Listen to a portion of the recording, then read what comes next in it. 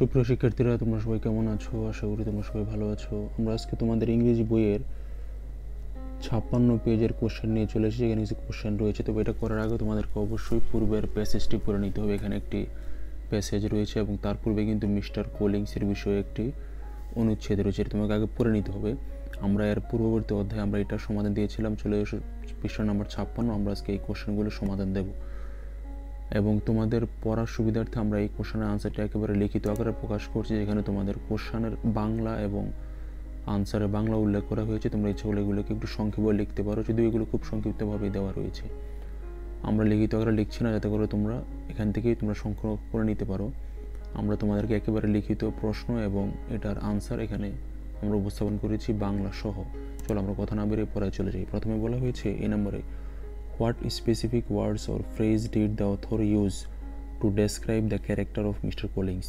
Mister কলিংসের চরিত্র বোঝানোর জন্য লেখক কী ধরনের শব্দগুচ্ছ ব্যবহার করেছিলেন এটার আনসার হবে the author used particular terms and expressions to depict mister Collins characters mister কলিংসের চরিত্র বোঝানোর জন্য বিশেষ করে তিনি অনেক এক্সপ্রেশন ভাবভঙ্গি প্রকাশ করেছেন including not a sensible man এটা একটা ডিফিসিয়েন্সি অফ নেচার এটা একটা self conceit of a weak head এটাও একটা।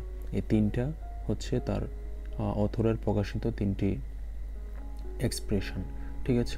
এরপরে বি নম্বরে বলা হয়েছে how did the author use those words or phrase to describe mister Collins characters mister কলিংসের চরিত্র বোঝানোর জন্য তিনি কীভাবে এই ধরনের ওয়ার্ডগুলি ব্যবহার করেছেন? ফ্রেজসমূহ এটার আনসার হবে the author mockingly and negatively portrayed mister Collins characters with this words and phrase অর্থাৎ মিস্টার কলিংস কিন্তু তাচ্ছিল্যতার সহিত এই ধরনের ওয়ার্ডগুলি ব্যবহার করেছেন।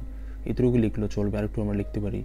The description of focuses on mister Collins lack of sensibility the shortcomings in his nature the negative influence of his father's poverty and illiteracy and his conceit which results from a weak intellect ঠিক আছে, এটা অর্থের নিচে বলা রয়েছে, তোমরা এখান থেকে অর্থ সব পড়ে নিবে।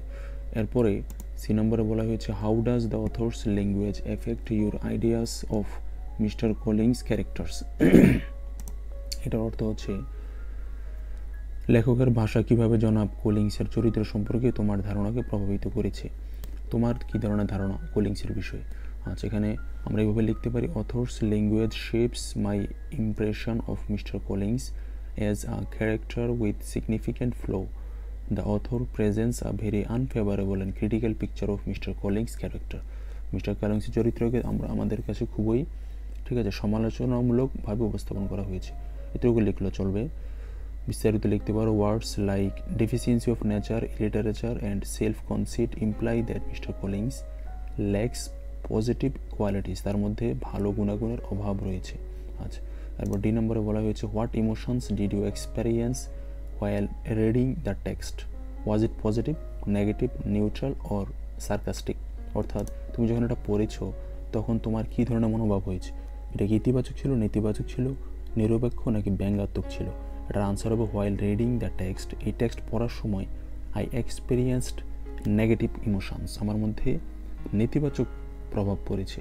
Considering the author's critical and mocking tone লেখকের এই নেতিবাচক মনোভাবের কারণে, উপহাস করার কারণে আমার মধ্যে নেতিবাচক মনোভাবই মূলত প্রকাশ হয়েছে।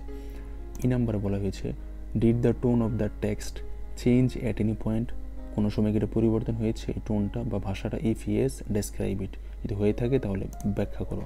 ঠিক আছে, এটা হচ্ছে এই নাম্বারের কোয়েশ্চান আনসার হচ্ছে yes ha the text changes its tone বিভিন্ন সময়ের ভাব অথবা এর প্রকাশভঙ্গি কিন্তু পরিবর্তন হয়েছে। Despite Mister Collins unfavourable characterisation ঠিক আছে মিস্টার কোলিংসের প্রতিকূল চরিত্রতা সত্ত্বেও the author has found certain aspects of his personality amusing or hilarious অর্থাৎ লেখক তার কিছু চরিত্র পেয়েছেন খুবই মজার এবং খুবই হাস্যকর। This provides a subtle element to the overall tone while acknowledging contradictions in mister Collins personality mister কলিংসের ব্যক্তিত্বের দ্বন্দ্ব স্বীকার করার সময় এটি সামগ্রিক সুরে একটি সূক্ষ্ম উপাদানের সংযোগ ঘটিয়েছে। ঠিক আছে, আশা করি বুঝতে পেরেছ, এখানে পাঁচটি কোয়েশ্চান রয়েছে, যেখানে মূলত মিস্টার কোলিংসের বিষয়ে তোমাকে প্রশ্ন করা হয়েছে, এটার আনসারগুলো তোমরা এইভাবে লিখে ক্লাসে উপস্থাপন করবে। আশা করি বুঝতে পেরেছ, আমরা পরবর্তী সময় ছাপ্পান্ন পেজের পরের পৃষ্ঠাগুলোর সমাধান নিয়ে আসবে তোমার চ্যানেলের সাথেই থাকবে এবং অবশ্যই চ্যানেলটিকে সাবস্ক্রাইব করবে। সবাই ভালো থাকো, সুস্থ থাকো, আল্লাহ হাফেজ। Like follow and subscribe our channel ধন্যবাদ সবাইকে।